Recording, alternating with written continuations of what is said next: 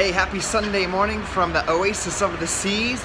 It is officially day two of our cruise. We got on board yesterday. Looks like we got the Nor Norwegian behind us, but we are on the Oasis of the Sea, largest uh, boat in the world. We got this uh, big balcony, uh, awesome uh, owner's suite here, so we can have the team get together. But man, yesterday was a, a packed full event with, um, you know, we got on the ship about 12 o'clock and then met up with most of our team. It's kind of crazy how we just all came together, uh, but we all have internet on the ship so we can use the little Voxer app to communicate with each other.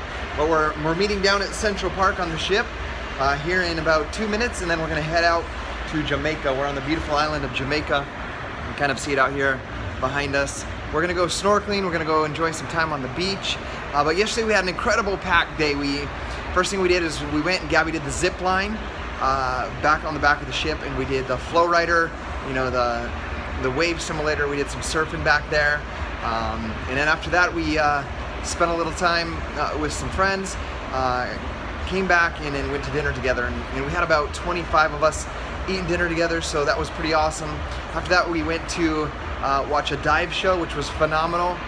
And then even better was the ice skating show. It was an absolutely amazing performance. It's kind of crazy to think you watch an ice skating show on a cruise ship, but that was super fun. And then we went out to watch the comedian show until about 11.30 uh, at night.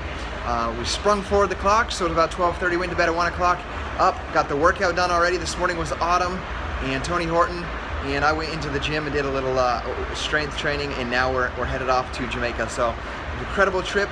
Uh, makes me think back to our first trip uh, was to Atlantis. Oh, I said we're in Jamaica. We're in Atlantis. I don't even know where we're at. We're in Atlantis, which is the place that Gabby and I got to go on our first Success Club cruise, our trip uh, to the resort in Atlantis back in 2012 in April. So it's awesome to see what happens when you work hard, uh, when you stay committed, when you stay disciplined. This is our fifth Success Club trip with Team Beachbody and it's just absolutely amazing and a blessing. So uh, a quick shout out to my mom and dad for watching our beautiful five children so I can spend some time here with Gabby. Uh, we love you guys. Uh, extremely blessed to be on this sh ship with over 6,000 people, uh, all from Team Beachbody. Love you guys. Your coach Scottie. See you later.